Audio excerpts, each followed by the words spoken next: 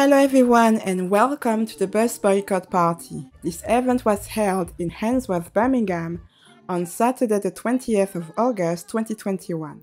This is a family event where you get to enjoy live music from Black Voices and the Bus Boycott musical. The National Express West Midlands even lent a retro bus for the occasion. The bus boycott party is inspired by the Bristol bus boycott, which started on the 30th of April 1963. Its aim was to denounce the colour ban in the Bristol Omnibus Company, who was only allowing white people to work as bus drivers and conductors. In 1960, Bristol Caribbean community represented about 3,000 people, who were largely confined to the deprived St. Paul's area a place that sustained a lot of bomb damage during the war. A couple of years earlier, in 1955, the Transport and General Workers Union had passed a resolution that colored workers should not be employed as bus crews. They cited safety concerns as well as fears that black workers would mean reduced working hours and overtime, therefore reduced wages. After several months of negotiations, a mass meeting of 500 bus workers agreed to end the color ban, and on the 20th of August 1963, it was announced that there would be no more racial discrimination in the employment of bus crews. Less than a month later, Ragbir Singh, a Sikh, became the first non-white bus conductor in Bristol.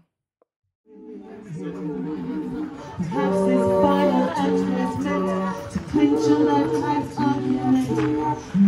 comes to violence, no, nothing ever could. Oh, let's an angry star. Let's we forget how fragile we are.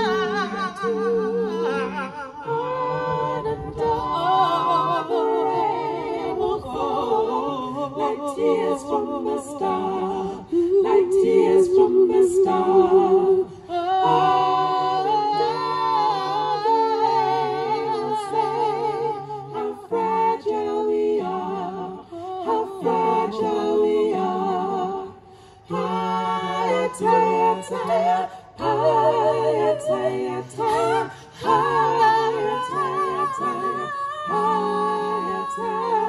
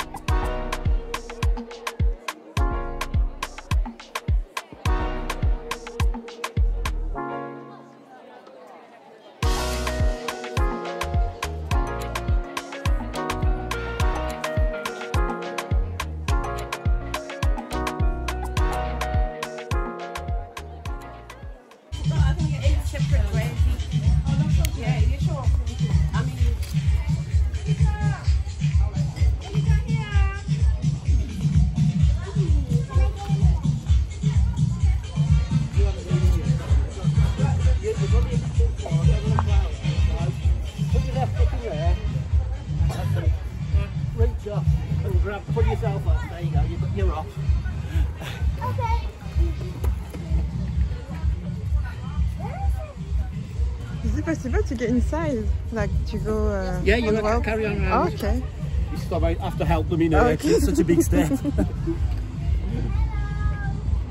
So that's what you have to do. You have to actually to get, like, get for me to get in, have to do left foot there, hold Yeah. there, there, right foot Oh my there, and God. put yourself in. Wow, that's a lot of uh, And as I exercise. it's just too big for the children, Yeah. so I have to help them in. So that's what they used to do uh, in back in the time. Yeah. Like they had to. Wow. Yeah. So um, some of the bigger guys would really struggle to get through the narrow Yeah, entrance. like. so do you still drive this type of bus? Yeah. Oh, that's just the window, yeah. If you press that bottom button, see the two light switches, press the button underneath. No, to the to, the, to your left by your shoulder. As you press that button, put the bottom dog. button. Oh, the headlamp is off. I'll switch it back off again now because I have to save the electricity. it's in here. It's in here. Yeah, no, that, that, that's just where the steering wheel's fastened to. It doesn't do anything. It's just the, that's your steering wheel fastened. Oh, There's I'm no gonna assi- there's no assistance. You, you literally have to pull the wheel round with the steering wheel. There's no power assistance at all. So where? Um, so this bus dates from. Uh, 1954. okay. Yeah, it's 67 years old now. This bus is. Nothing at work at the moment, so I've got everything switched off.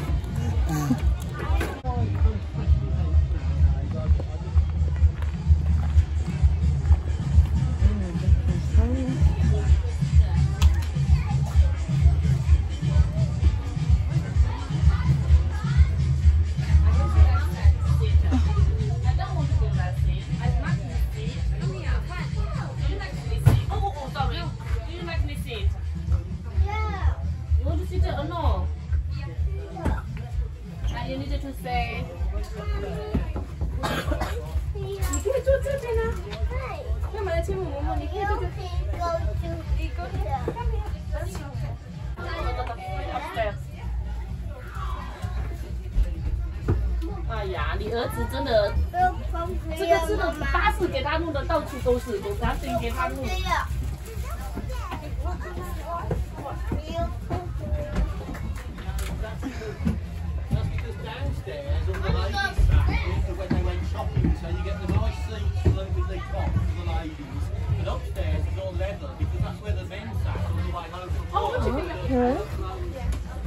You. That's because downstairs,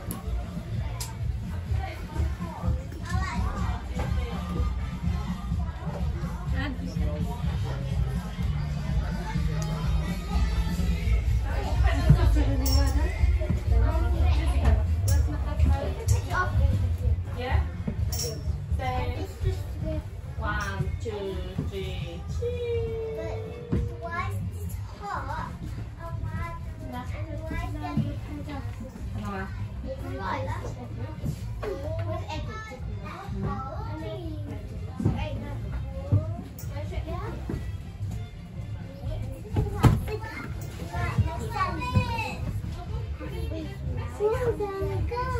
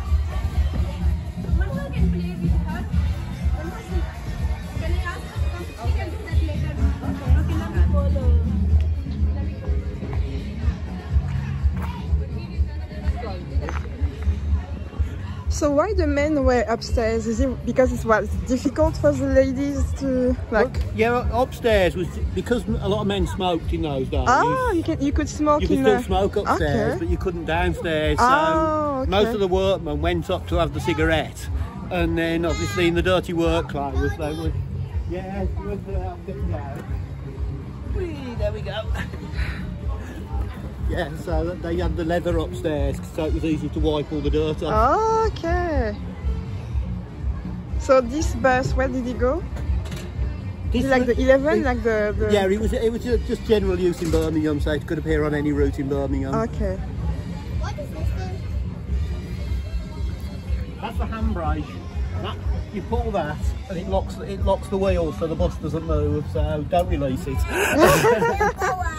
Go out. yeah. Hey, give me your ticket. Now. So the driver didn't have to deal with tickets because you had a separate conductor on the back in those days. Okay, there, so there were two people Two working people on together. every bus. Yeah. Yeah. The, the driver literally just drove the bus and the conductor collected the fares and looked after the back. Okay. And how much was it at the time, the fare? Um, well, it, there's um, a sign on the back that's got for the night service, which is 10D. Now, 10D is the equivalent of about four pence now in, Birm- in, Oh, in decimal currency.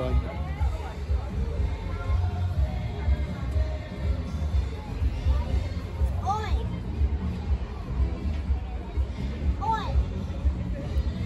No, give me your ticket. So do you have any other information, important information on this bus? There's not one.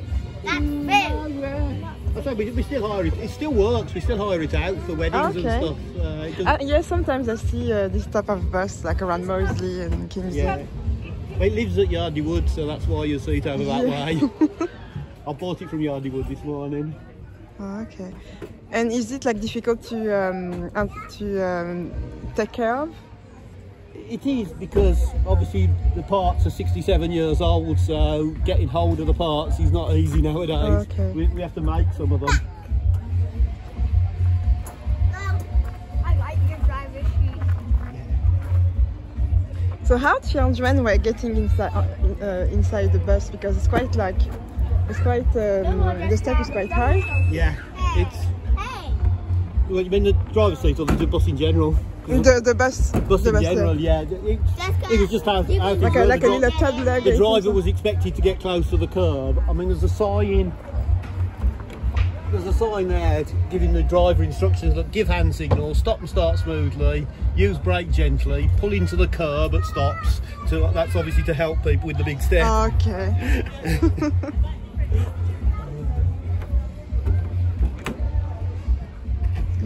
so when you were younger, did you see this type of bus? Or yeah, you were I, I travelled on these as a child, and then Okay. say I started. So what's your memory of that? Of that? Um, bas- basically, just they were the old buses of the day, so it was just a berry off the tree. yeah, so so I, these finished when I was 13, so I could just about remember them up till I was about 13, and then. Uh, then I started working for at 16, so I've been there 43 years now. Okay, it's a long time. So what uh, line do you do? I don't drive full time now, I work in the offices. Okay. But uh, But before, what line did you drive? was- I was a driver at Walsall Garage, so I used to do all the Walsall. routes around Walsall. Okay. And what do you like about uh, driving a, uh, the bus? It's just a job that, as long as you ignore idiots, you're, you're your own boss. You can just drive around, do the job properly. Management get, keep off your back if you're doing the job Yeah. properly. You ain't got anyone there telling you what to do all the time. It's, uh, you've just got to learn to ignore the idiots, basically, who you carry around. And as long as you can ignore idiots, it's a decent, it's a good job.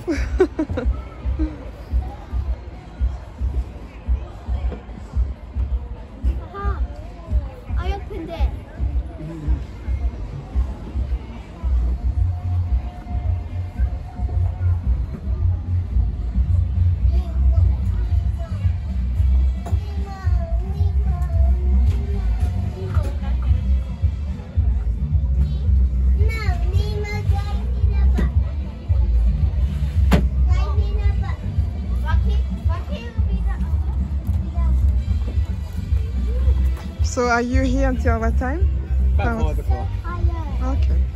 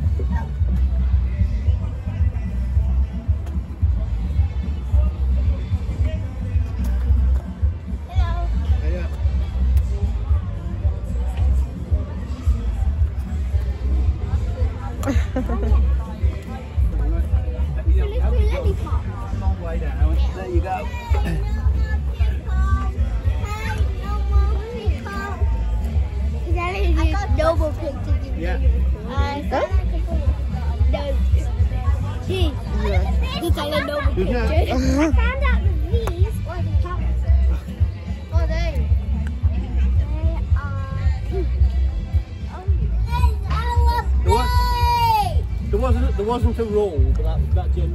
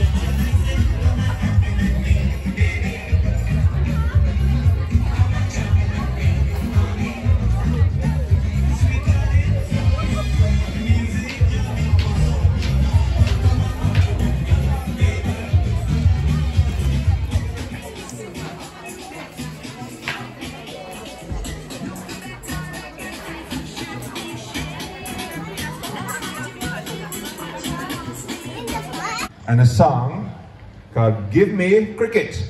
Here we go.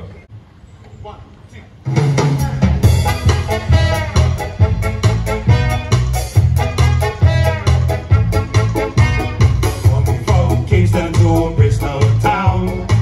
Here to tear Mr. Down. Then we go back to the Southern Sea. English weather is not for me. The thing I love cricket. Every boundary, every googly, every wicket. Give me any sport, I will pick it. All day, every day, just give me cricket, cricket, cricket. My dearest gentlemen, if I may have a moment of your time to discuss a matter which I am sure you will agree is of great importance. What did you? There is an incident going on here in Bristol that could affect the lives of many of our fellow West Indians. Your visit here could not be more timely. Hey why? how you talk, so? There is a boycott. What him say? Him say boycott. Oh, boycott. That boy can't bat. No, not Geoff Boycott. There is a bus boycott. Milton was caught. LBW. What him retort? Need not trouble you. Same thing happened to Carpenter. Of their doom, it was the harbinger.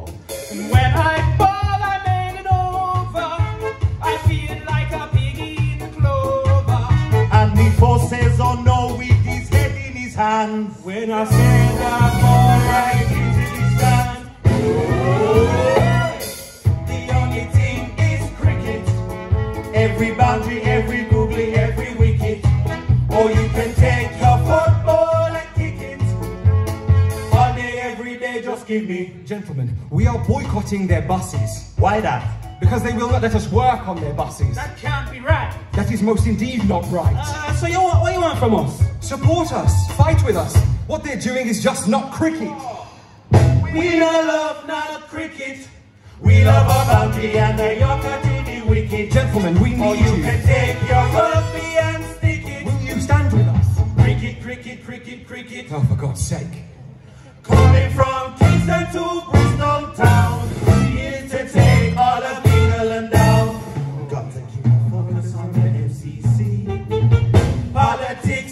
not for me.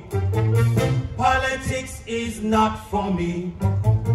Politics is not for me. The thing I love is cricket.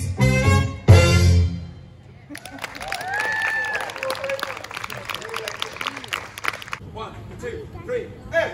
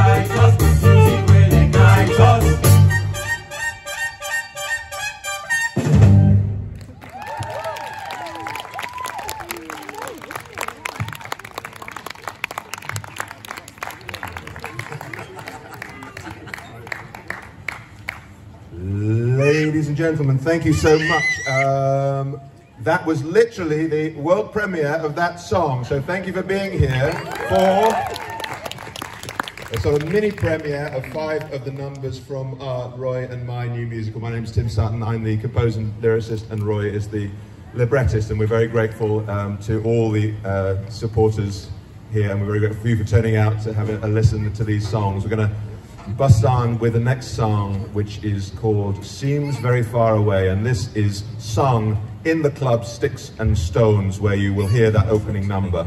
Um, a lady steps forward, and everybody, and she's known as Auntie. Uh, everyone says, "Please, Auntie, sing your song, sing your song." And she goes, "No, I don't want to sing your song, sing your song."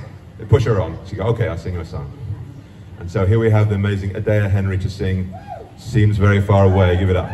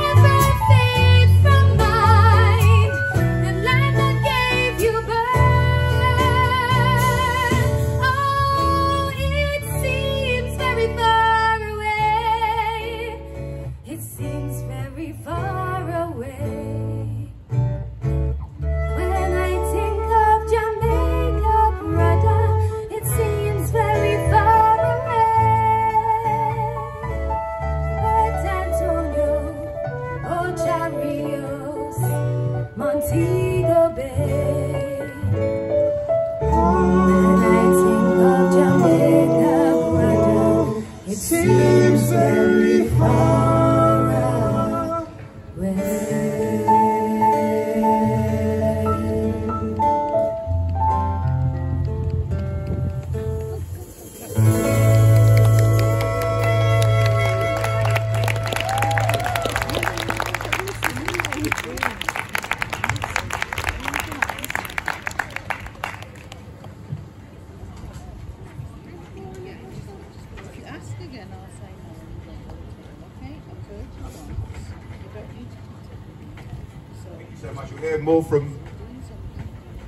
Adea now as she sings uh, a song sung by the character of Lorraine that Roy mentioned. So Lorraine is based on a lady called Joyce who we, we met when we were doing some research in Bristol a couple of years ago before the pandemic. And uh, Lorraine is a 15-year-old girl who's recently come over from uh, Jamaica and she's looking to find her way in Bristol and eventually she finds Paul Stephenson who inspires her to activism.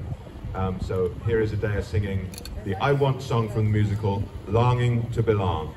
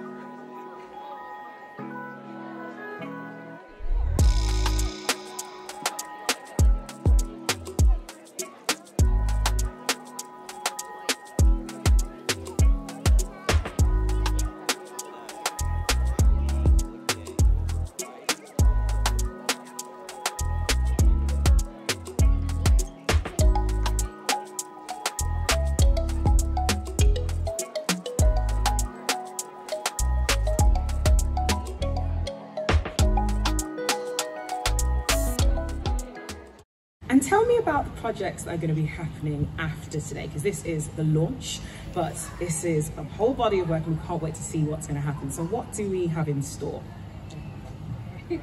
So who's taken the 74 bus around here?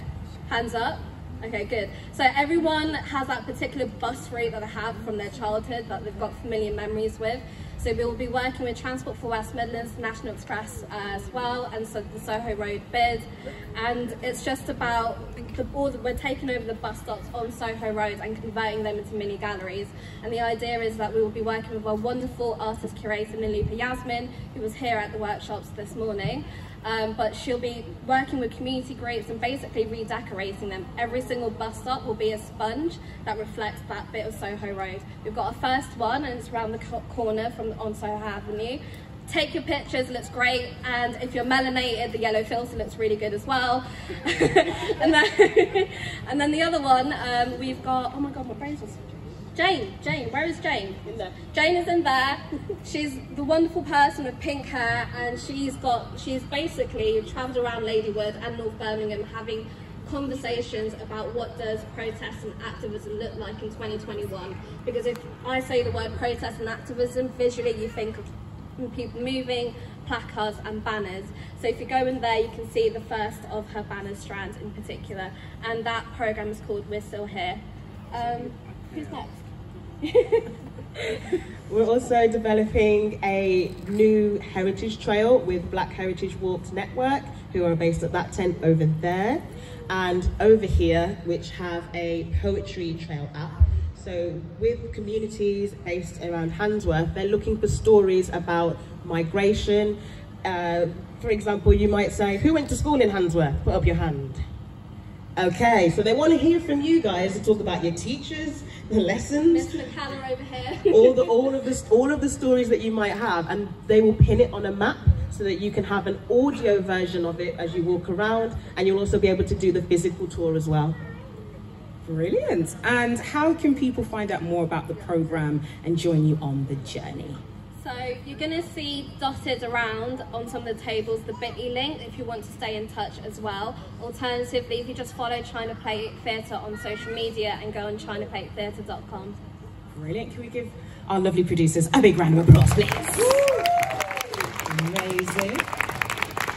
So we are all here because of Bus Boycott, which is going to be a musical coming very, very soon, uh, developed by China Plate and will be produced also with uh, the Birmingham Hippodrome as well.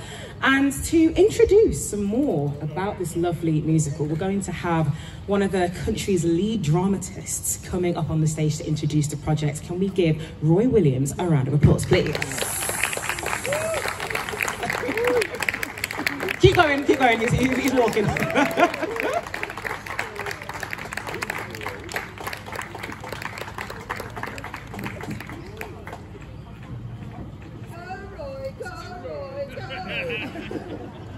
Oh, you know me so well. Hello, good afternoon. Um, just going to give you a quick rundown of what the show is about.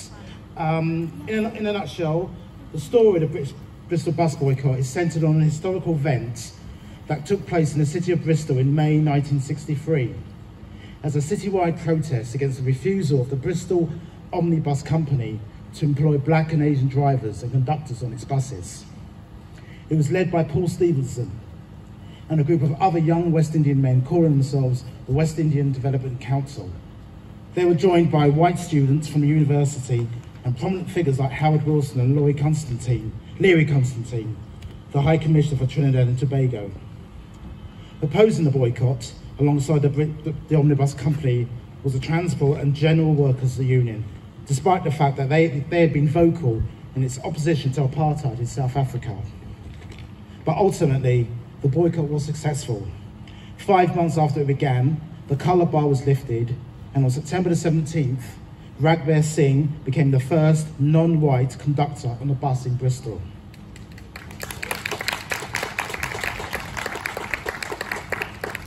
The boycott is often credited with having laid the foundations for the Race Relations Act of 1965 and 1968, which made racial discrimination unlawful in public places in the UK. Our story focuses on two central characters, one real, Paul Stephenson, and one fictional, a 15-year-old girl, 15-year-old girl called Lorraine.